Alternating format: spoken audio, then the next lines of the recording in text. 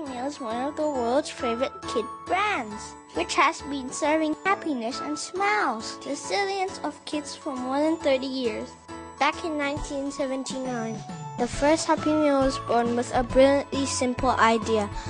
Why not create a meal just for kids? From the first meal to million, Happy Meal has been working for one sole reason put a smiles on kids' faces. So why has the box never smiled?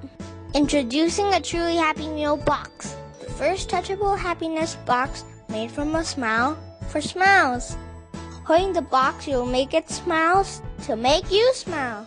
And I'm loving it!